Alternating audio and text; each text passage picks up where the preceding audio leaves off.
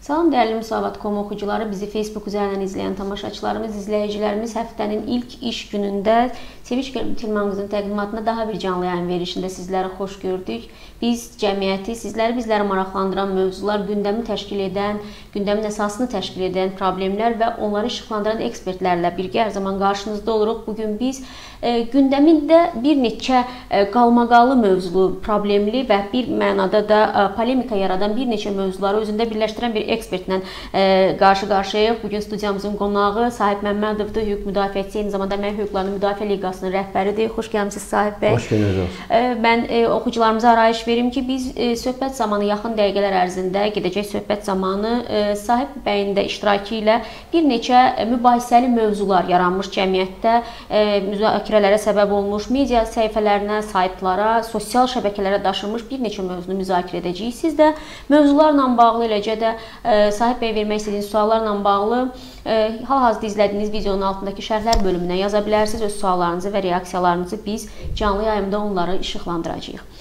Bir daha xoş gördük sizi Sahib bəy. Mən təşəkkür edirəm studiyamıza gəldiyiniz üçün. Bu ilk iş günündə gərgin bilirəm hamının həftənin ilk iş günü gərgin olur qrafiki, amma siz də bu günlərdə Azərbaycan oxucusu üçün də, eləcə sosial şəbəkə istifadəçisi üçün də, eləcə də biz jurnalistlər üçün də bir neçə maraqlı mövzu və eyni zamanda mübahisə yaradan mövzuları gündəmə gətirmisiniz. O baxımdan biz onları sizlə danışmağı, geniş-geniş danışmağı e, bizim üçün də maraqlı olar. Birinci mövzu e, dünən gecədən etibarən, hətta dünən gecə saatlarına qədər biz artıq e, müsahibə ilə bağlı sizinlə razılaşandan sonra belə davam edən bir mövzu. Turan İnformasiya Agentliyinin rəhbəri Mehman Əliyevlə bağlı dediyiniz e, bəzi fikirlər. Mən oxuculara da arayış olaraq xatırladım ki, əslində Sahib Məmmədovun Mehman Əliyevlə bağlı dediyi sözlər e, belə deyək də polemikanın yaranmasına e, Sahib bəyin iştirakı olmayıb. Daha öncə dediyi bir fikirləri jurnalist həmkarlarımızdan biri Talih Şahsuvarlı ictimailəşdirib və bununla yeni mübahisə ocağı yaranmış olub. Yəni bu baxımdan bu mübahisənin yenidən alovlanmasında sizin heç bir iştirakınız olmasa Yox, belə fakt faktlığında qalır. Sizin Mehman Əliyevlə bağlı dediyiniz məqamlar hansı ki, həm ictimaiyyətdə e, geniş mübahisə doğurdu, həm yenə cəbhə hakimiyyəti dövrünə hamımız getdik 20-25 il əvvələ. E, bilməyənlər üçün və həqiqətən də bizə bəlkə baxıb da söhbət nədən gedir deyə düşünənlər üçün mən sizdən soruşum. Əslində sizin iddialarınızın deyək, əsasında nə dayanırdı Mehman Əliyevlə bağlı Sahib bəy? Əslində 2014 ya 2015-in əvvəlində olub. Deməli bu e, insan hüquqları üzrə birgə işçi qrup yarananda, e, deməli e, orada e, Xədicə İsmailin namizədliyi Avropa Şurasının baş katib tərəfindən irəli sürülmüşdü, amma o provokasiya o elədi, onu qəbul etmədi. Belə də Arzu xanım Mehman Əliyevin namizədliyini irəli sürdü. Hı -hı. Mən də belə də dedim ki, bizdə kifayət qədər baş redaktorlar var. Onda gərək onları da hamısını dəvət eləyək bura. Yəni həmin statusda xeyli bizdə KİV rəhbəri var. Bəli. Ona görə burada da onda tərkib genişlənəcək və s. əleyhinə çıxış elədim və bu da buna çatdı. Bu da məndən belə yumşaq şəkildə desək incidir. Aha. Sonra bu işçi qrup haqqında bir yazılar verirdi ardıcıl.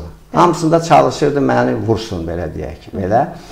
Bir dəfə də baş katibin adından bir yazı verib, güya o mənim adımı çəkib və biraz aşağılayıcı söz deyib. Mən Yaqlandla tanışlığım yox, görüşməmişəm. Amma nümayəndəsi Aleksandr Gessellə də qarşılıqlı hörmət var aramızda, belə deyək, çox normal bir adamdır. Axtardım, mənbəni tapdım, gördüm ki, ümumiyyətlə ad çəkməyib orada, nəinki sahib. Çəkə də bilməz, əslində məni tanımır o, tanışlığım. Mən də ondan bağlı biraz ə, belə deyək ki, xoşa gəlməz oldu mənim üçün. Mən də bir status yazdım, onun o keçmişdə mənlə olan münasibət. Əslində yəni o münasibətlər xoş, işçi bir münasibətlər idi. Bu da ondan ibarət idi ki, mən e, e, bu Yasamal rayon icra hakimiyyəti başçısı vəzifəsindən ərazi idarəetmə orqanlarının iş şöbəsinin vəzifəsinə təyin olunandan sonra, yəni mayın 7-si idi ya 8-i idi. E, işə gələndə gec gəlmişdim. Gördüm bir cavan, arıq, oğlan gözləyir orada. Bəs dedi ki, mən Arif Əliyevin işçisiyəm, sizlə görüşmək istəyirəm. Girdi, istədi, indi mən unutmuşam məzmunu, ssenari göstərdi və s. ki, film çəkilməlidir, vəsaitimiz azdır, bizə müəssisələr kömək eləsin və s. Onda bir təxminən 4 rayon deyəsən onlara xahiş elədim, göstəriş verdim və sonra bir müddət keçəndən sonra e, Mehman Əliyev yenə gəldi ki, bəs vəsait köçürülüb sağ olsun, amma azdır, kifayət deyil. İndi maraqlandım ki, niyə axı belə təxminən bu qədər məbləğlər deyilmişdi. Dedilər ki, bilirsiniz bu özəl hesabdır. bir dövlət müəssisəsindən başqa dövlət müəssisəsinə olsa bu asandır. Amma bu şəxsi adamın şəxsi hesabıdır. Ya indi unutmuşam ya Turanın hesabıdır ya firmanın hesabıdır. Axırı hüquqi bir şəxsin hesabıdır deyir. E, onlar çəkinirlər. Danışdıq ki, bu ictimai əhəmiyyət kəsilir, dövlət əhəmiyyətli tədbirdir və s. Nəhayət bu köçürüldü pullar. Hı -hı. Və mehman Xatırlayırsınız nə qədər vəsait idi? Unutmuşam, milyonlarla ölçülürdü, amma 10 milyon rubl da bilirsiniz, birin 10 idi o vaxt. Məsələn, mən misal göstərmişəm ki, mən şöbə müdürüydüm, 35 1 min rubl aylıq maaşım idi da. Yəni belə deyə az da değildi, çox da, yəni nəhəng də pullar deyildi. Amma belə onlarla müəssisə deyəsən köçürmüşdü. Və sonra Mehman Əliyev də təbii məqsədi doğrudan da film çəkmək idi. Yəni mən bunu belə deyək ki, orada dələduzluq eləməsini iddialı deyirəm. Amma bu hadisələr belə gətirdi ki, artıq bu mümkün olmadı. İyun hadisələri, hakimiyyət dəyişdi, Mehmana imkan verən olmadı. Mehman Əliyevə bu filmi çəkməyə istəsiydi belə. O, bu vəsaiti sonra yönəltdi o agentliyinin inkişafına. O agentlik var idi əvvəldən, amma onun avadanlığı yox idi. Yəni və s. o da bunu heç gizlətmir də, belə deyək, şey bildirir və s. İndi mən bunu xatırlatdım. Dedim ki, yəni o nöqteyi nəzərdən xatırlatdım. Əlbəttə biraz sərt yazdım. Dedim qəbul otağında yəni gözləyirdi filan. Əslində gözləmək aşağılayıcı bir şey deyil. Mən özüm də kimlərinsə kabinetin qabağında saatlarla gözləmişəm. Hər halda belə bir yazı verdim, status yazdım və götürdüm onu bir ki kütləvi informasiya. Bu olub 14 ya 15-ci ildə. İndi bu Talih Şahsuvarlı ilə belə deyək, onun arasında bir münaqişə olub yas yerində Talih Şahsuvarzın pis-pis təhqir eləyib, bilmirəm nə səbəbdən və deyim ki, o Mehman Əliyevdə bu xüsusiyyət var. O da elə anons verdi ki, yazacağam. Götürüb axtarış verib. E, yazı yazanda çıxıbdır bu axtarış sistemində götürüb mənə istinad edib və mən zorən bu prosesə qoşulmuşam. O başladı ki, bu Sahib Məmmədov yalan deyir, mən heç onu tanımırdım və mən də məcbur oldum buna cavab verməyə. Proses bundan başladı və bu axırda gətirdi ona çıxartdı ki, şəxsi güya bizim münaqişəmiz olub və bu Soros fondu ilə bağlıdır. Əslində Soros fonduna idarə heyətinə gələndə mən heç komissiyada yox idim və Soros fondu ilə bağlı bir cəm bir şikayət olmuşdu. Mən e, deyək orada komissiyanın üzvü olanda monitorinq aparanda bir təşkilat ilə bağlı. O da sonradan həll olunub çıxıb getmişdi. İndi onunla bu bu e, deyək Mehman Əliyevin öz idarə heyətinin sədri olduğu dövrdəki e, Elçin Abdullayevin e, deyək e, regional ofisin direktoruna yazdığı şikayət o e, mənə nə daxil var? O komissiyada 11 adam olub. Mehriban vəzir olub, Samir e, İsayev olub və s. xatırladıqlarından. Yəni e, Məlahət Mürşidli olub. E, yəni əslində mən ona görə niyə lap 11 nəfəri nəsədə bu şeyləsəydi mən o, o komissiyaya görə ondan niyə münaqişə? Ya konflikt ondan deyil. Yəni qətiyyən ondan deyil və ümumiyyətlə o araşdırma gedəndə komissiya gəldi, müvəqqəti icraçı direktor təyin edildi. Onda artıq mən orada yox idim. Bax bir, birincisi yalanın belə deyək, yumşaq desək yalanı budur ki, Yəni mən Soros fondunda güya bu komissiya araşdırıb, mən də komissiyanın üzvü idim. O araşdırdığına görə də o neqativ şeylər çıxıb üzə və ondan mən kin saxlayıram. Bu gülməli bir şeydir yəni. İddia yazıda, yəni hətta Hə. buna cavab bir yazı da var. Mehman bəyin yazısı var Turan az saytında. Mən də oxumuşam onu. Oxucularımız da yəqin tanışdılar o yazı ilə. Birincisi iddia edir Mehman bəy ki, ümumiyyətlə sizin onunla hər hansı bir münasibətiniz, onun daha doğrusu sizinlə hər hansı bir münasibəti olmayıb və ümumiyyətlə bu görüş, otağının qarşısında gözləmə və s. bütün bunlar fantaziya məhsuludur. Əslində bunu sübut edəcək dəlil, sübut varmı? İllər öncə baş vermiş bir hadisədir, amma hansı formada bunu sübut edəcək məqam var? Hətta da e, onun e, arqumentlərinin sırasında həm də o yer alır ki, siz aparatda işə 1993-cü ilin mayında dövlət çevrilişindən bir ay əvvəl başlamısınız və e, onun bu baxımdan sizinlə heç bir münasibəti olmayıb deyə bir e, iddia var. O 2 ay yaxın orada mən olmuşam və o kifayət qədər e, Birincisi onların mətbuat xidməti Ekspres Xronika adında bir buraxılış hazır idi. Məndə nömrələr hələ də qalıb. Hə, belə deyək ki, o, o, o analitik şöbə ilə bir yerdə hazırlayırdılar və onu da mehman gətirib e, təqdim eləyirdi əgər bilmək istəyirsə. İkincisi e, indi dünən e, Talih Şahsuvarov tapıb mənim köməkçimi işləmiş, kifayət qədər tanınmış bir şəxsdir, müharibə veteranıdır, özünə hörmət edən adamdır. Ondan da soruşub, o da təsdiq edir ki, mən bilmirəm nə söhbət olub, amma gəlib getməyini görmüşəm də. Yəni bilirsiniz, indi aradan e, bu indi deyirlər bank əməliyyatlarıdır filandır. Bunlar əlbəttə bunu e, o da yaxşı bilir ki, bunu bu gün sübut eləmək yoxdur. Nə o bank yəqin ki, indi yoxdur, nə o tranzaksiyalar barədə məlumat yoxdur. Buna arxain olub e, bilirsiniz, burada nə etməlidir? Ən yaxşı olardı ki, Mehman Əliyev deyərdi ki, bəli, belə bir şey olub, Hı -hı. amma o, hadisələr baş verib. Hı. O pullar da nə bilim deyərdi ki, inflyasiya oldu, getdi, xərclənmədi, heç bilmirəm hara getdi. Belə bir çıxardı aradan. Bu isə dirənib, deyir ki, sahib kim o kimdir deyir, mən tanımırdım, tanışdığım yox idi, e, yanına da gəlməmişəm və s. Bilirsiniz, bu biraz, biraz qeyri-ciddi söhbətdir. Deməli, mən, mən başqa fantaziya qalmamışdı uydurmağa, yəni belə deyək ki, e, ümumiyyətlə qeyri-ciddi yanaşır adam ki, inkar edir ki, sahib kim idi, mən tanımırdım, tanışdığım yox idi. Necə yox idi? Sən prezidentin mətbuat xidmətinin əməkdaşısan, mən heç heç 11 ay icra hakimiyyətinin başçısı işləmişəm Bakı mərkəzi rayonunda.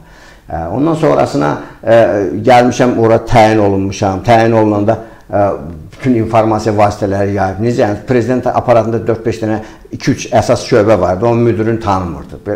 Belə məqsəd məntiqsiz bir şeydir də. Sahib bəy, amma ə, mən indi icazə verin opponent eləyim sizə. Nəyə görə? Çünki Mehman Əliyev personasını Azərbaycan mətbuatı da, Azərbaycan ə, belə deyək də ictimai siyasi sektorun fəalları da yetərincə tanıyır və Turanın maddi durumu göz qabağındadır. Tutaq ki, ə, Mehman Əliyevin şəxsən özünün elə maddi durumu, yəni ən azı biz jurnalist çevrəsi olduğu üçün bilirik də. Yaşadığı yer olsun, ə, istifadə etdiyi maşın olsun. Yəni o standartlar ona və yaşam e, şəkli və illər boyu apardığı yol, keçirdiyi həyat tərzi, işçilərinin maddi durumu, Turanın ofisi və s. və hamımız olmuşuq illərdən və bilirik. Yəni Mehman Əliyev və e, belə deyək də hansısa formada pul mənimsəmə, sanki bir sanki yox, həqiqətən bu mənzərələri və bu o faktları görəndə bir araya sığmır. Nəyə görə? Çünki e, Mehman Əliyev dediyim kimi personası ə, çox adama yapışır bəzi şeylər pul silmək çox adama hmm. yapışır, e, pul köçürmə, hmm. dələduzluq faktı və s. və s. və s. çox yaraşır. Amma Mehman Əliyevə bu məqamlar yaraşmır deyə. Aydındır. Yəni mən harda hardasa demişəm mənimsəyib cibinə qoyub. Mən deyirəm ki, Turanın potensialının artırılmasına yönəldib. Avadanlıqlar alıb. Yəni o demək deyilmi sizcə? Dolayısıyla o demək deyil. Yəni onun yerində olan bir başqası da o pulu qaytarmaz. Həm məsələ heç mexanizmi də yox idi. Yəni istifadə edib, rasional istifadə edib və mənim də mövzum onun dələduzluqda itham eləmək olmayıb o vaxt.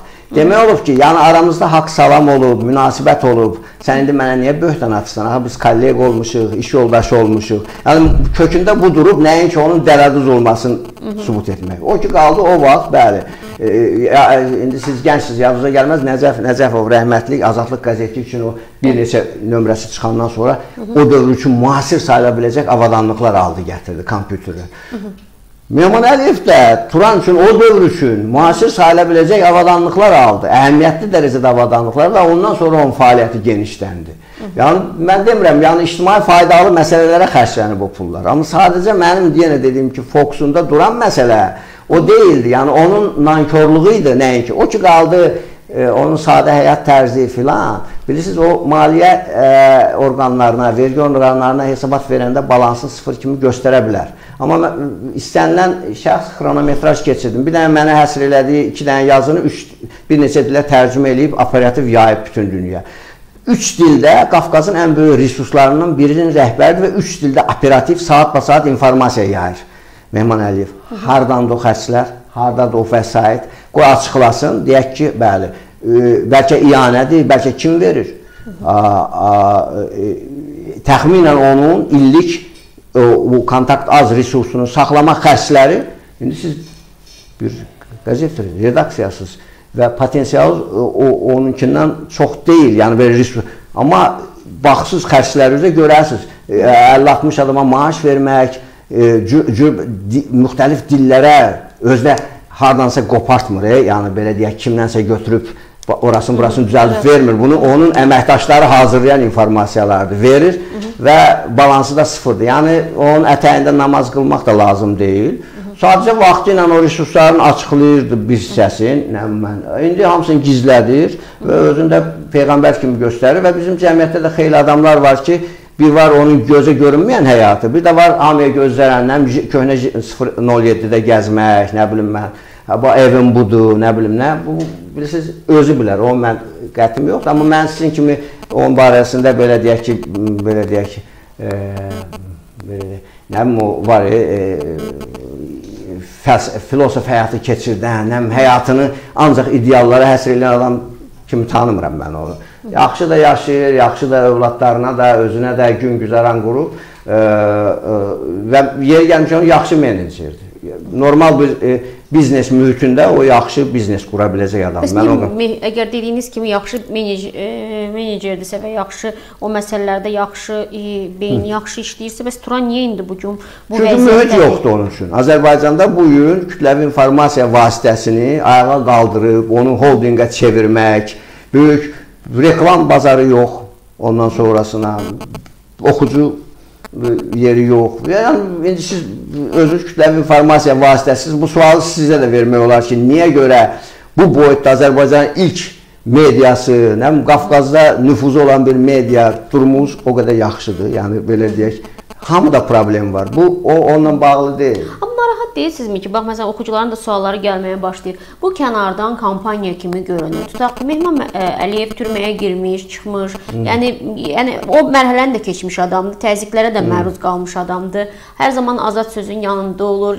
Müxalifətlə də münasibətlər yaxşıdır və birdən-birə onun keçmişi hər nə qədər siz artıq hekayəni danışdınız da, oxucularımız da artıq məlumatlı oldular ki, nətər olub ki, bu məsələ yenidən gündəmə çıxıb. Amma bu kampaniya təəssüratı yaradır. Kampaniya kimdir? Talih Şahsuvarlı və məndə zorən cəlb edilmiş adam. Üçüncü kimdir oradan? Zəhmət olmasa adını çəkin. Talih Şahsuvarlı ilə hamı çoxlu adam olub orada, mən olmamışam. Bunlar söyüşüblər. Və Talih də gələn kimi anons verib ki, mən bundan bağlı yazı yazacağam xeyli müddət. Və indi də bir neçə yazı yazıb onun əlində olan resursları da yerləşdirib. İkinci bura qoşulub, zorən qoşulan Sahib Məmmədov. İndi kampaniyanın digər iştirakçısı kimdir? Kampaniya budur ki, həm hər tərəfdən hücum olur da. İndi e, hələ təzədir. Hamımız Adam fikirləşir ki, bəlkə davamı gələcək. Mən şəxsən, bax mən mən şəxsən özüm dünən yazdım ki, bu məsələdə nöqtə qoyuram. Kifayət qədər də hörmətlə yazmışam. Təhqir elementi yoxdur, aşağılama elementi yoxdur. Davam eləsə mən məcbur olacağam davam eləyəm. Yox, yox, mən mən üçün bitmiş mövzudur. Yəni bu kampaniya belə deyək, o hesab edirsə kampaniyadır, mən çıxdım bu kampaniyadan. Bax burada elan edirəm ki, çıxdım. Amma buyursun mənim adımı çəkməsin, zəhmət olmasa. O yazıb, iki yazı yazıb, mən ona bir dənə cavab vermişəm. Nöqtə qoymaq olar da məncə. Aydındır. O zaman biz də bu hissəyə, söhbətin bu hissəsinə nöqtə qoyaq. Amma digər bir ə, e, mehman haqqında, Mehman Hüseynov haqqında mən ə, e, danışmaq istəyirəm. Hansı ki, hal-hazırda aclıq aksiyasını davam etdirir. Ə, e, artıq aclıq aksiyasının 11-ci günündə səhv etmirəmsə, həyatla bağlı təhlükələr var, amma bir-birindən də fərqli informasiyalar gəlir. Birinci bir qrup onun, yəni söhbət birbaşa onunla kontaktda olan vəkilindən gedir, iddia edir ki, o Mehman bəy ə, aclıq aksiyası keçirir və israrlıdır, sona qədər getməkdə israrlıdır. Daha bir qarşı tərəf penitensiar xidmət iddia edir ki, mümkün deyil, ə, o aclıq aksiyası keçirmir və bunların fonunda Mehman Hüseynov sanki ölümə gedirmiş kimi bir ə, əhval-ruhiyyə yaranır. Mən bu məsələ ilə bağlı sizin statuslarınızı da oxuyuram. Eyni zamanda zaman-zaman gedən müzakirələrdəki mövqeyinizi də oxuyuram. Sizcə durum nədən xəbər verir? Bu qədər çəlişki, bu qədər ziddiyyət ola bilərmi bir şəxsin aclıq aksiyası ətrafında? Adam ya aclıq edir, ya etmir. İki, yəni bu üçüncü versiya mümkün deyil, Aynen. doğrumu? Aynen. İndiki halda niyə belə bir qarşılıq? Əvvəla mən qəflətən və xəbərdarlıqsız istəyirdim onu gəlib baş çəkəm. Əlməmməd Nuriyevə də danışmışdıq belə bir Bəli. şey. Sonra onu köçürdülər tədrisxanaya. Belə də bizim mandatımız məhdudlaşır. Artıq Ədliyyə Nazirliyi və penitensiar xidmət yox, buna istintaq orqanının icazəsi lazımdır. Bizim amma e, cəza çəkmə olanda icazə, xəbərdarlıq bunlar heç nə lazım deyil. Biz gedib görüşə bilmədik, amma fürsət olsa mən fikirləşirəm ki, Yər Məmməd bəydən də xahiş eləmişəm ki, istintaq orqanlarından xahiş eləsin, şərait yaratsalar, Bəli. məmnuniyyətlə gedib görüşərik. Amma geniş bizim belədir ki, geniş açıqlama vermirik. Bəzən Hı -hı. məhkumun və ya təqsirləndirilən şəxsin bəzən müdafiə taktikası var. Ona müdaxilə Hı. eləmək üçün. Siz deyirsiniz vəkil. Hı. Vəkil onun müştərisinin e, e, hüquqlarını, hüquqlarını müdafiə eləyir və mən hesab edirəm ki, onun vəkili kifayət qədər e, vəkil etikası çərçivəsində hərəkət eləyir və açıqlamaları da onun öz müştərisinin mənafelərinə xidmət eləyir. Bu Bəli. məsələnin bir tərəfi. Amma cəza çəkmə müəssisələrinin ümumiyyətlə azadlıqdan məhrum etmə yerlərində hansı ki Ədliyyə Nazirliyinə aiddir, onunla bağlı normativ hüquqi akt var. Deməli, Hə aclıq edən, qida qəbul etməkdən imtina edən, e, deyək ki, şəxs, məhkum yaxud təqsirləndirilən şəxs, indi o statusundan asılı olaraq e, şəxsin e, deyək e, o, o deyək e, ilə bağlı vəziyyətin tənzimlənməsi və onun məcburi qidalandırılması haqqında. Deməli, azlıq edən şəxs qaydalar, qaydalar hazırlanarkən deməli cəzaların icra məcəlləsi əsas götürülüb. Bir də bir qanun var. E, e, azadlıqdan məhrum etmə yerində saxlanan şəxslərin hüquq və azadlıqları haqqında qanun var. Adını bəlkə biraz təhvil. Bir də Avropa konvensiyası var, Avropa məhkəməsinin qərarları var. Beynəlxalq qırmızı xaç e, cəmiyyətinin prinsipləri var bu məsələ ilə bağlı. Əgər məhkum aclıq elan edirsə, ya məhkum, ya təqsirləndirilən şəxs, ya ə, hansısa bir formada saxlanılan şəxs aclıq edirsə, bu onun ə, hüququ kimi, fundamental hüququ kimi qəbul olunur və bunun qarşısını zorakı yolla almağa yol verilmir. Bu hazırlanan qaydalarda da belədir ki, əgər şəxs aclıq elan edirsə, dərhal bu barədə tibbi hissiyə məlumat verilir və bununla söhbət aparılır. Yəni o söhbət aparılır, onun aclıq edən, qidadan yeməkdən imtina etməsinin səbəbləri soruşulur. Əgər o səbəblər yerinə yetir, qaydaları şərh eləyirəm da mən. Ə, e, o, səbəbləri aradan qaldırmaq mümkünsə o qaldırılır və sonra o qidasını qəbul etməkdə davam edir. Əgər onun e, aclığına doğuran səbəb deməli administrasiya mülahizəsinə görə əsassızdırsa və yaxud yerinə yetirməsi mümkün deyilsə, onda bu ona izah olunur ki, bu bizlik deyil. Məsələn, də konkret halda ona deyilə bilər ki, sən barəndə yeni cinayət işi başlanıb, bu penitensiar xidmətə aidiyyəti olmayan bir məsələdir. Misal verim, məsələn deyim. İzah olunur və o, o, o, o onu izahı qəbul etmədikdə onda ə, deməli hələ ki vəziyyəti yaxşıdır, o deməli ümumi e, qa nizam qaydaları uğra o toplantıya da gəlməlidir, nə bilim mən e, e, və s. və s. Amma onun səhhətində artıq e, bir sutkadan keçəndən sonra zəifləmə baş verirsə, o həkim nəzarətinə götürülür. Xüsusi jurnallar var. Bəli. Həkim onun arterial pulsunu yoxlayır, təzyiqini yoxlayır və jurnalda saat-ba-saat qeyd edir. Gündə 3 dəfə yemək təklif olunur. Yemək 2 saat saxlanılır yanında yemədikdən 2 saat sonra götürülür e, və onun deyək ki, səhhəti ayrı tədrici olunur və ayrıca saxlanılır.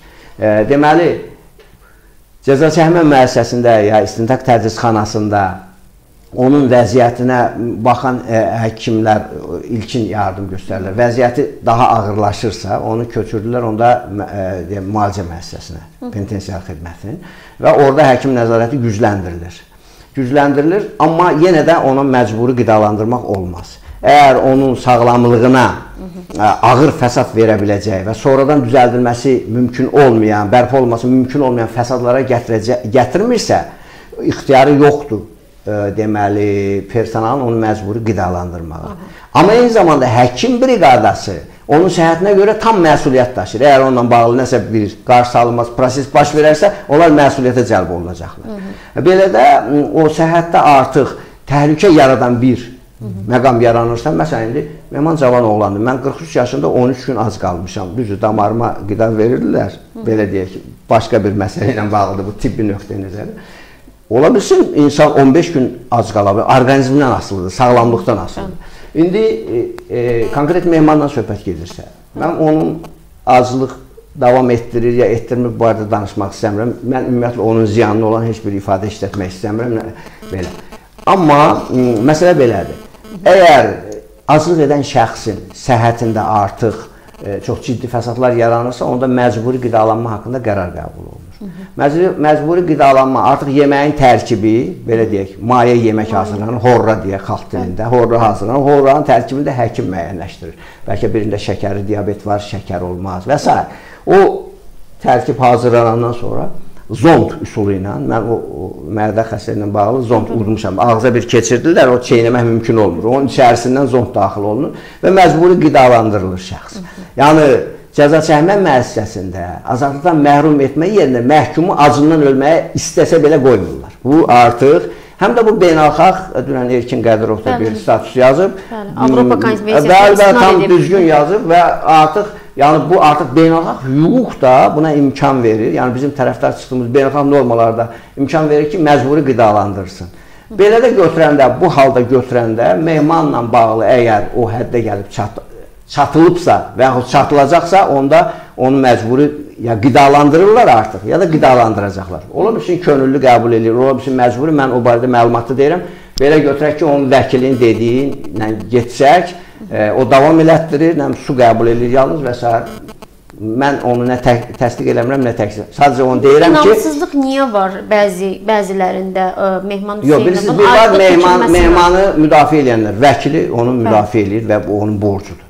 Bir var xeyli onun həm, həm fikirləri və s. onlar da müdafiə edirlər. Bir də var bunun ətrafında kampaniya yaradıb bəhrələnənlər.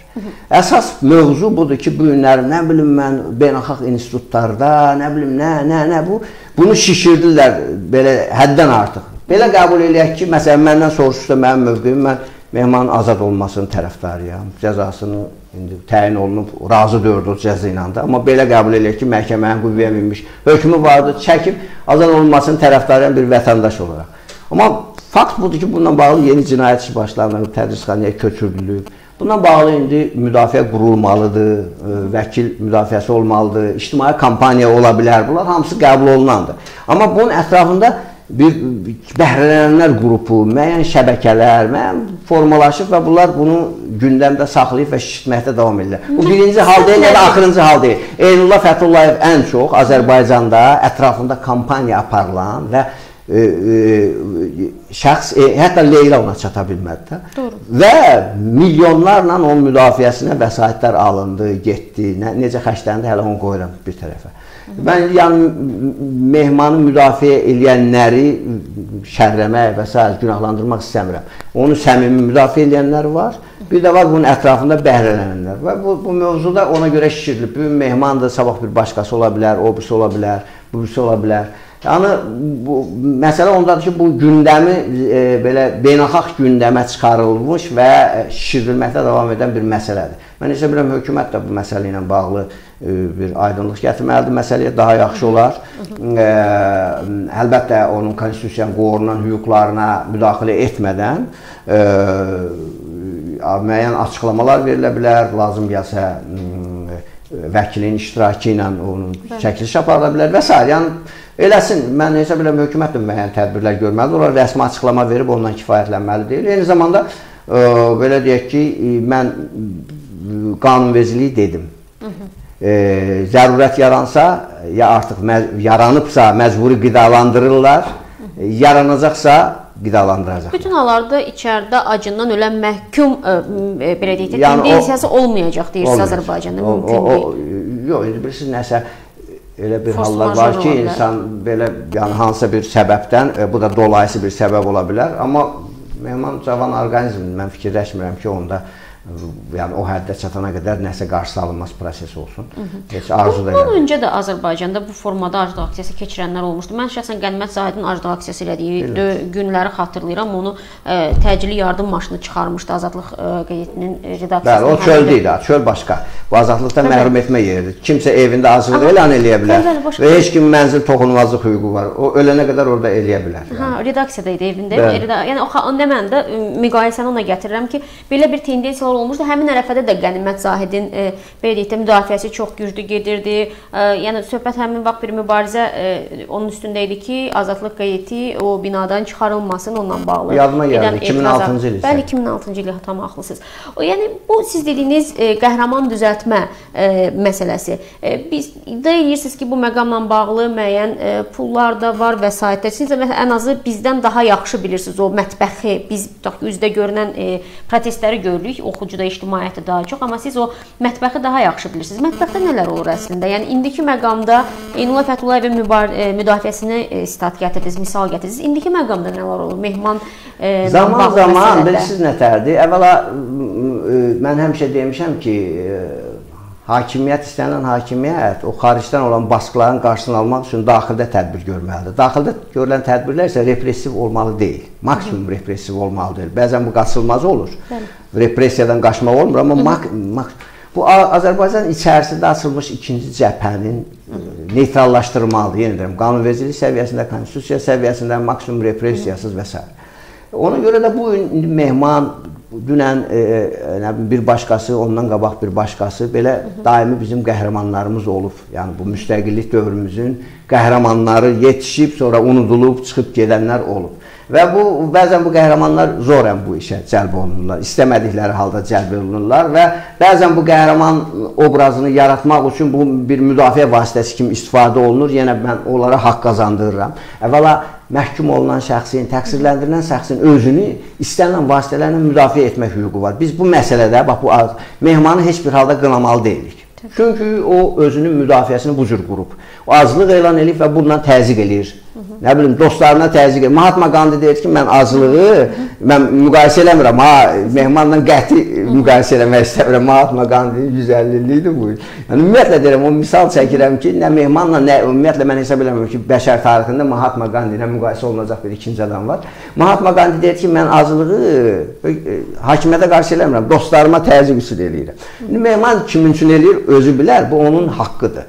E, və konstitusiyon hüququdur və o, o, o hüququnu reallaşdırmaqda davam edir. Amma bunun ətrafında yenə deyirəm, buna kömək edən, dəstək verənlər də var. Bunlar da ola bilsin səmimidir. Amma xeyli görünən, bundan bəhrələnmək istəyən, məsələn, anti-Azərbaycan qüvvələr bəhrələnir Azərbaycanın əleyhinə yazılar, məqalələr və s. gedir.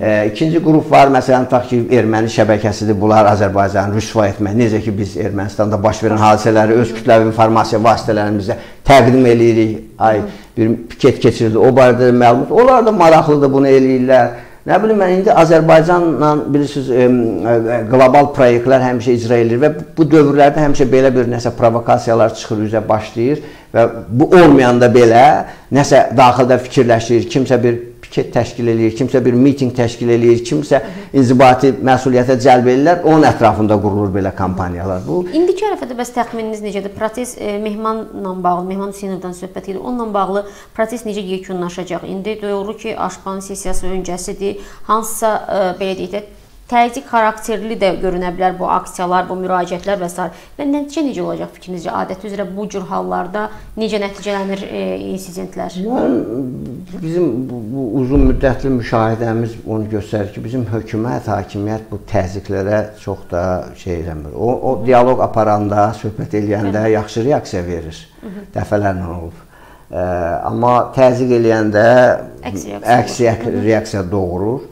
Ona görə mən bilmirəm. Mən e, arzu eləyərdim ki, hər şey mənim mehmanın xeyrinə qutarsın. Amma e, belə deyək ki, bu total kampaniya fonunda, xüsusən o kampaniya ki, onlar heç mehman və yaxud mehman olmasın, olsun. Hı -hı. Ondan əvvəl bir başqası, nə bilim mən, sahib, Əli, Vəli, Hı -hı. onlar onları heç maraqlandırmır. Əksinə onun pis vəziyyətə düşməyi, bəlkə sabah azından yəni orqanizminə ziyan dəyməyi, ölməyi bir, bir şəxsin daha sərfəlidir. Nəinki onun belə deyək problemin həll olunması. Yəni bizdə indi bu siyasi məhbus siyasi düzəllənmə var. Bunların siyasının başında 5-6 bəzək verən adam olur da. Onlar götürüb qoysan qırağa bu, bu siyahının dizaynı itir də belə deyək. Onlar maraqlıdır ki, o adamlar orada çürüsün, qalsın, nə bilim mən onların bağlı nə mən nəsə olsun, pis rəftar olsun ki, bunlar bu siyahılardan zaten biznes düzəldə bilsinlər. Kimə sirdir ki, bu siyahı İspaniyada nə 500 adam var e, siyasi məhbus, danışan yoxdur. Bu e, deyək ka, e, Kataloniya hadisəsi ilə bağlı da. Belə deyək. Ermənistanda indi az qala Sərkisyan hökumətinin tən yarısı türmədədir. Danışan yoxdur. Gürcüstanda Saakashvili hökumətinin xeyli üzvləri qaçqın düşüb yersiz Danışan yoxdur, çünki mövzuya maya qoyan yoxdur, bilirsiniz? Pul verən yoxdur. Ona görə bizdə isə bu mövzuya pul qoyan var, maraqlı tərəflər var. Və o nə qədər ki bu maraqlı tərəflər olacaq, davam eləyəcək. Görürsünüz, söyüş layihəsi yenidən gündəmi zəbt eləyib, bir qədər səngimişdi, yenidən başlayıb, yenidən plakatlar buraxıblar, yenidən yapışdırmaq aksiyasına başlanılıb. Yanakı proseslər gedir. Bu təkcə mehmanla bağlı deyil. Ölkədə və ölkə ilə bağlı xeyli proseslər gedir və start verilir və ona görə mən dedim ki, 5-ci kolon Hı -hı. fəallaşdırılıb. Yəni işarə gəlib kiməsə və s.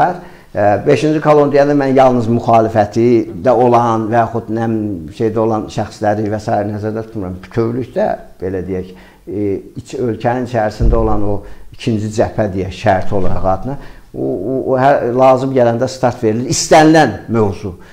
Mövzu mehman da ola bilər, başqa bir şey, sosial məsələ də ola bilər.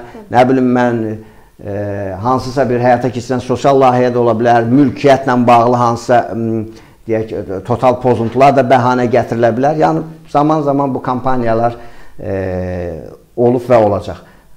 Hakimiyyətlər buna hazır olmalıdır, çalışmalıdır, yalnız konstitusiya normaları tətbiq olunsun.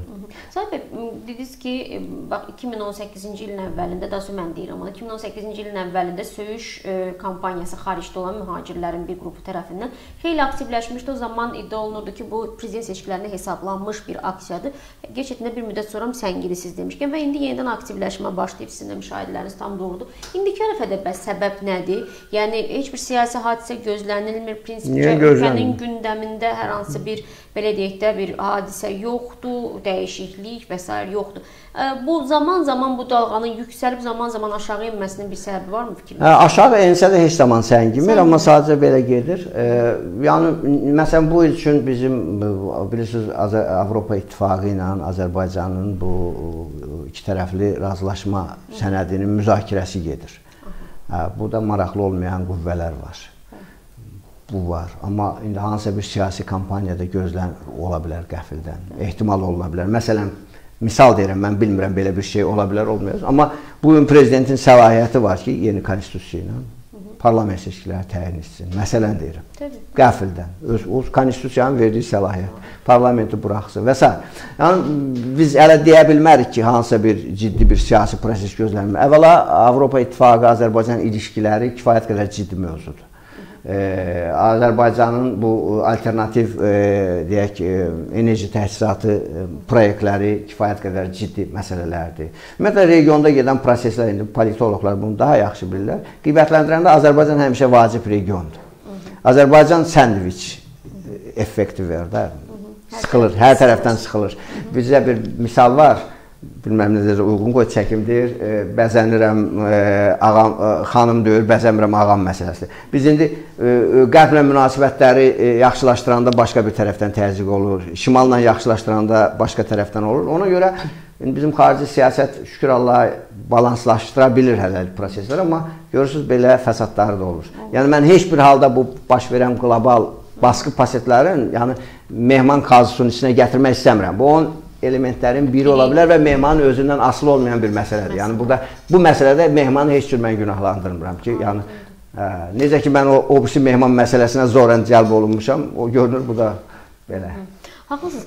Bir məqam da son günlərdə dediyim kimi siz o qədər bir-birinin ardınca belə deyək də cəbhələr açmısınız ki, onları bir-bir izləmək də çətin olur. Biri də qaz sayğacları ilə bağlı olan məsələdir. Daha dəqiq desək, sizin bu məsələdə müşahidə etdiyiniz, üzə çıxardığınız və bir çox sakinlərin də Azərbaycanlıların da sosial şəbəkə istifadəçilərinin də bu məsələdə sizə dəstək verməsi və məsələnin Azərqaz rəhbərliyi səviyyəsində belə deyək də həll olunmağa cəhdidir.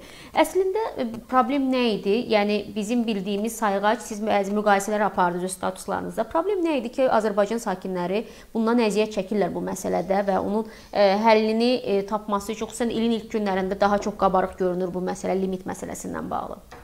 Bizdə kommunal sferada təbii monopolistlər var. Bu enerji təchizatı, su təchizatı Bəli.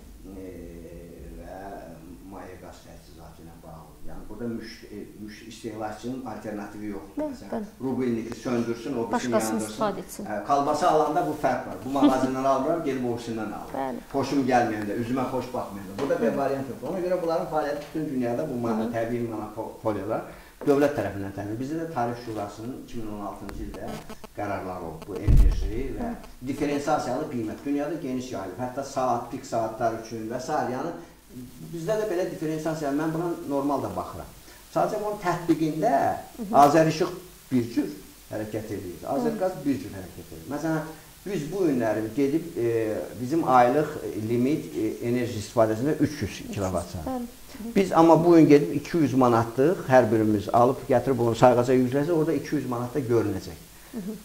Azərqazda limit illikdir. Amma illik limit 1700, əvvəl 1500 müəyyən olmuş, sonra prezidentin təşəbbüsü ilə bunlar artırılır. Mən əgər gedib bu gün 200 manat verib ilin əvvəlində qaz limiti alsam, onda o, onun e, mənə e, e, deyək 2000 kub yüklənməyəcək, 1850 kub yüklənəcək. O 1300-dən yuxarı olanın artıq 300-ün bu başdan bunlar kəsib götürürlər. Bilirsiniz nətərdir? Bu əgər daş kömür olsaydı, bu bizə məsələn deyirlər ki, daş kömürdə yanacaq. Gedib məsələn tutaq ki, 1 tonna 100 manat qiymət qoyublar, ikinci tonu 200 manat. Gedib mən 300 manat verib 2 ton kömür atırıb gətirib həyətimə köksüydüm və onu yavaş-yavaş yandırsaydım, bunların Azərqazın tətbiq etdiyi tarifin məntiqi vardı. Axı mən depozit pul qoyuram, mən onlardan qaz almıram. Mənim onların qazı ambardadır. O qaz mənim sayğacımın içərisindən keçib bu birisi tərəfə keçən andan mən onu istehlak etmiş olam. Mən indi ora aparıb qoyduğum pul, pul, avans puldan. Bunlar e, e, tarifi mənim qoyduğum avansdan, depozitdən tuturlar. Bu düzgün deyil. Onlar Azər işıq necə edirsə o cür eləməlidirlər. Mən istehlak etmədiyim qaza görə, amma depozitə qoyduğum pula görə niyə pul ödəməliyəm? Onda mən belə şərti misal deyirəm. Mən ilin sonunda dekabrın 30-unda qalığım 1700 kubdur. Halbuki ona 170 manat yox, 340 manat ödəmişəm. Həmin qalıq keçir növbəti ilə 1700. İndi mən o, o onu mən deməli mən artıq limitdən məhrum oldum da. Halbuki mən qaz sayğacdan istifadə olunduqca problem burdadır və biz bunu qabartmışıq e, və e, mən Azərqazdan sağ olsunlar operativ reaksiya verirlər şikayətə və s. həm Energetika Nazirliyi, həm SOKAC bir yöndəmsiz cavab yazdı və s. Amma onlar mən deyirəm stasyonun altında narazı insanlar var. Həyəsinin bir problemi. Siz onları oxuyun. Sahibin sahibə həm televiziya kanallarının birində 7-8 dəqiqəlik təksib verilişi hazırlamaqla deyil, bir istehlakçıya bu boyda resurs sərf eləməyinsiniz. Bir, milyonlarla istehlakçıdan biriyəm mən. İki gün televiziya kanallarında mənə həsr olunmuş e, e, veriliş gedirəm. Mən 20 qəzet yazıram. Mən qəzetlərdə mənim şəxsi özəl məlumatlarımı dərc edirlər, konstitusiyon hüququmu pozurlar. Məsələn, mənim evimin ünvanını göstərirlər, sayğacımın abonent kodunu göstərirlər, il ərzində ödədiyim pulu göstərirlər. Hə, indi siz baxarsınız ki, bu məsələndir. Bu mənim fərdi məlumatlarımdır. Mənim şəxsi, hə, şəxsi məlumatlarımla mən başlayım onların rəhbərliyi ilə, o işi ilə bağlı mən də məlumatlar yaymağa. Olmaz axı belə şey. Hə, ona görə mən Hə, məsələn həll olundu da son məqamda sizlə bağlı. Xeyr, heç Amma həll cavab verildi və e, Yox, məsələni bağladılar. Bilirsiniz nətər? Bizim bəzi dövlət orqanlarına şikayət verəndə şikayətə operativ reaksiya verilir, bu xoş təsir. Amma bütün resursları tökürlər ki, sənə inandırsınlar ki, sən haqsızsan. Onlardan biri də bizim bu təbii monopoliyalardır ki, onlara şikayət eləyəndə bunlar onu həll etmək əvəzinə bütün resurslardan istifadə edirlər, sübut eləsinlər ki, sən haqsızsan. Bu səhvdir, səhv yanaşmadır. Ola bilsin, mən şikayət eləyənlərin belə götürək ki, 50% haqsızdır, ən az 50%. Amma bunu da belə deyək, bu cür yolla, belə ki, bir intervyu verməklə haqsızdır və s. olmaz. Gərək istehlakçı ilə davranış qaydalarını müəyyən etsinlər. Bizim bu hörmətli təbii monopoliyalar, onların da çoxlu problemləri var. Onların da xeyli belə deyək, onların yerinə biz özümüzü qoysaq görəcəyik ki, onların da minlərlə problemi var. Məsələn, su təchizatında kəmərlər nə qədər illərlə köhnəliyib, e, enerji təchizatında hamısını düzəldib bərpa eləmək, onların öz problemi var, amma istehlakçı belə götürək, həmişə haqlıdır. Haqlıdır, haqlısınız. Bir neçə e, maraqlı məqamlar var ki, mən onları e, soruşdum sizlərdən. E, sizdən eyni zamanda oxucularımızın da sualları gəlməyə başladı. Bizim danışdığımız və sizin e, nitqinizdə qeyd olunan bəzi faktlarla bağlı icazənizlə onları da cavablandıraq ki, oxucularımız bizi diqqətlə izləyirlər, onlar da cavabsız qalmasınlar. Muradxan Hacı soyadlı oxucumuz deyir ki, salam Sevinç xanım və sahib bəy, sizə belə bir sualım var. Yadınızdadırsa, məktəb direktorunu kameralar önündə döyən və söyən şəxs həbs edilmədi. Ancaq penitensiar xidmətinin leytenantı Əli Abdalov ərizə yazıb ki, güya Mehman Hüseynov onu döyüb. Buna görə də Mehmana yeni iş kəsilə bilər. Buna etiraz olaraq Mehman da aclıq aksiyası keçirir və çox insan ona dəstək olur. Aksiya və aclıq aksiyaları keçirirlər. Münasibətiniz necədir? Hmm, yeni Musavat bəy, sizdən bir xahişim var. Zəhmət olmasa Əli Abdalovu efirə çağırın, o danışsın necə olub bu hadisə. Çünki bu ictimailəşib əvvəlcədən təşəkkür edirəm. Biz də sizə təşəkkür edirik Murad xan bəy. Biz təbii Əli Abdalovla əlaqə saxlamağa çalışırıq, amma hələ ki elə bir e, yəni kontaktlara çıxmır, amma çıxsa böyük böyük e, ehtimalla biz onunla da bu mövzu ilə bağlı danışacağıq. Sizə verilən sualda isə e, münasibət Aydındır, mən sual aydındır. Bir, e, biz mehmanın belə hərəkət edib etməməyini bilmirik. Biz onu təqsirsiz saymalıyıq, çünki onun təqsiri sübuta olunmayıb. Amma fərz edək ki, belə bir hal baş veribsə, Bu qapalı müəssisədə vəzifəli şəxsə qarşı olan hərəkət bir başqadır. Bir də çöldə bir e, bir e, iki nəfərin xulqanlıq hərəkəti başqa şeydir.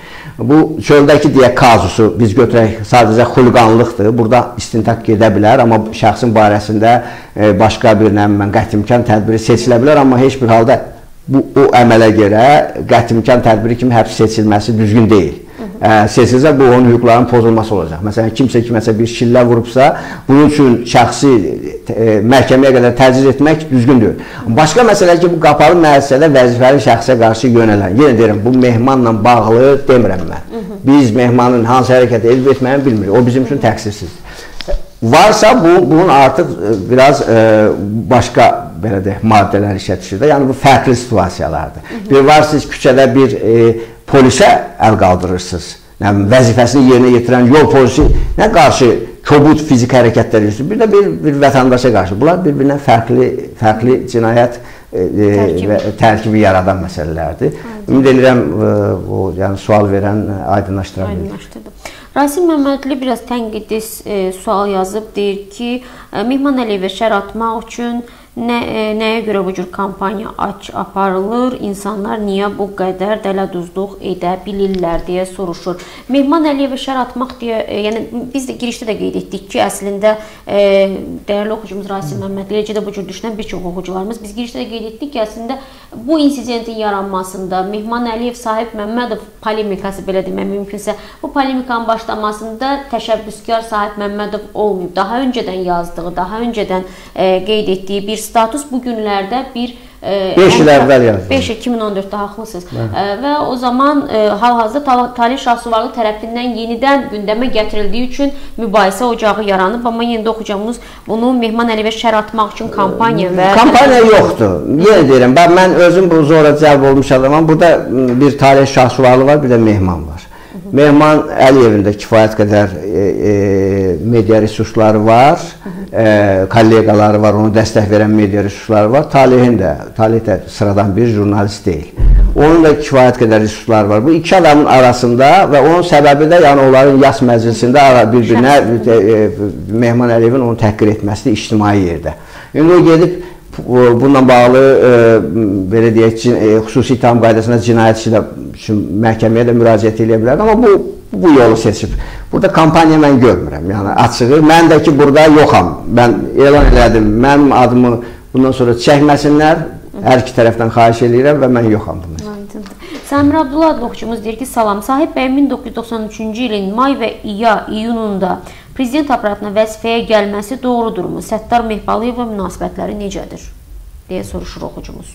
Hə, vəzifədə olmuşam da yəni bu prezident. Az öncə demisiniz. Hə, o, o ki qaldı Səttar Mehbaliyev. Səttar Mehbaliyev Azərbaycan Həmkarlar İttifaqı Konfederasiyasının sədridir və bundan qabaq da ümumiyyətlə bütün həyatı Həmkarlar İttifaqında keçmiş bir şəxsdir və həmkarlar sahəsində təhsil olan Rusiyada oxumuş bir e, şəxsdir və e, mən onu tanıyıram. Niyə tanıyıram? Mən Yasamal rayon icra hakimiyyətinin başçısı işləyəndə avtomobil sənayesi işçiləri Həmkarlar İttifaqı Respublika Komitəsinin sədri idi və o da bizim rayonda yerləşirdi və biz bəzən nəqliyyat sektoruna vəzifələrə təyin edirdik və s. orada birgə olmuşuq və oradan tanıyıram belə salam və xoş münasibətimiz var. Mən onun e, xeyli fəaliyyətləri var ki, yəni işçi hüquqlarının müdafiəsi ilə bağlı xüsusən qanunvericilikdə işçilərin xeyrini dəstəkləyirəm.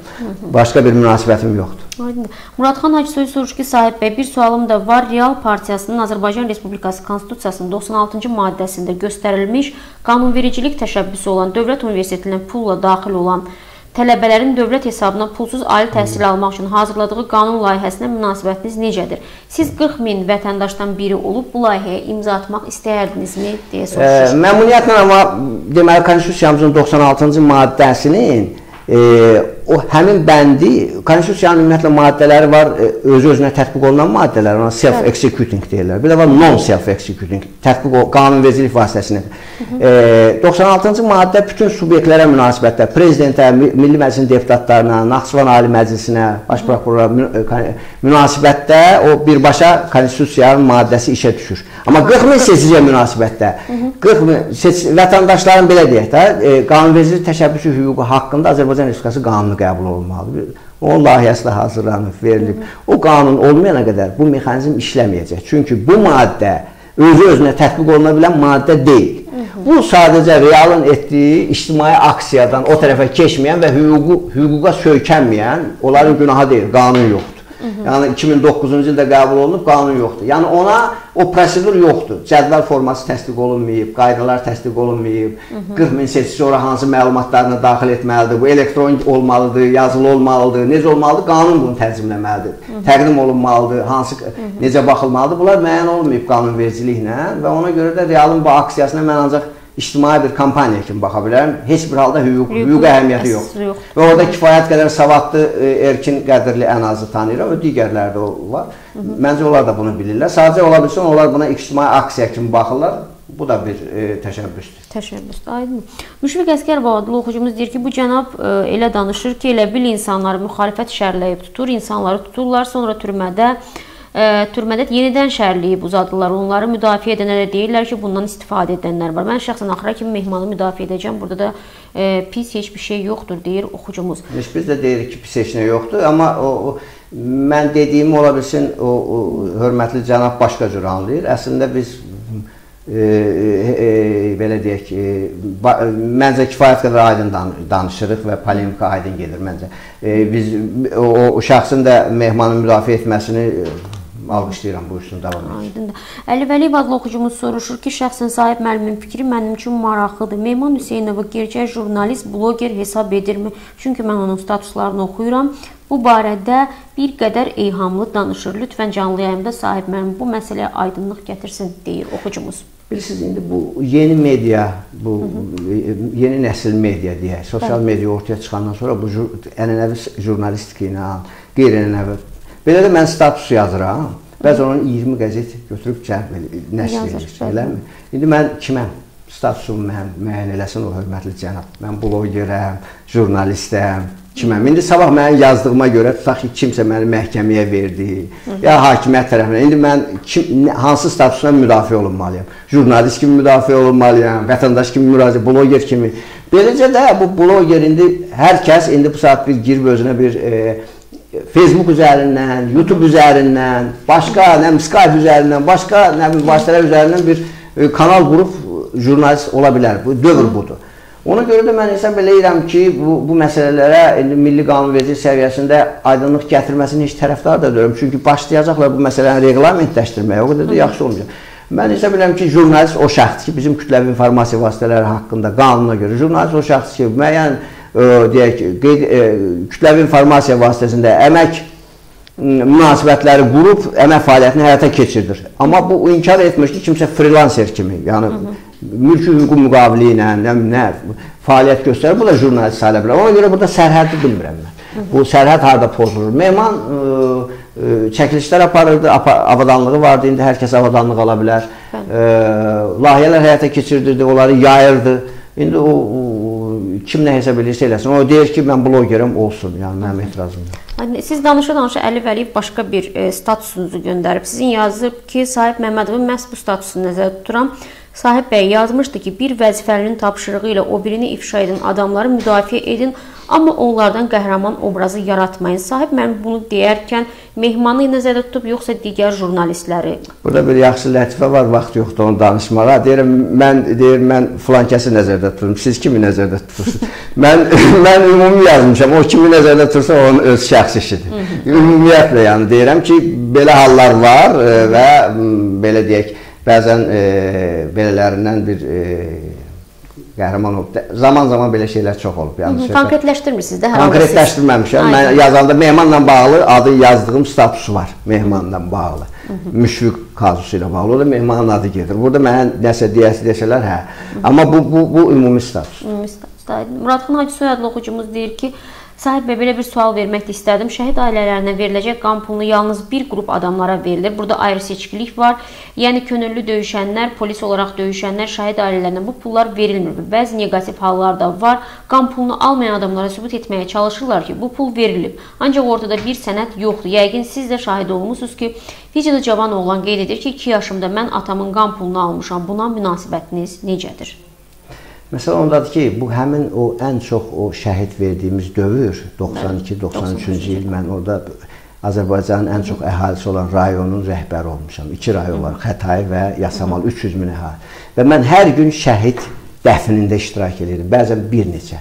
Və mən şahidəm ki, gətirirdilər orada hansısa bir jurnala qol çəkdirirdilər. Heç deyək o şəhidin sahibi yox, qohumu və s. hansısa kiçik bir 3-4 kilo ətin pulu Hı -hı. qədər verilirdi. Sonra bu rəsmiləşdirildi, sığorta sənədi kimi gedirdi. Hı -hı. Köhnə qanunvericiliklə.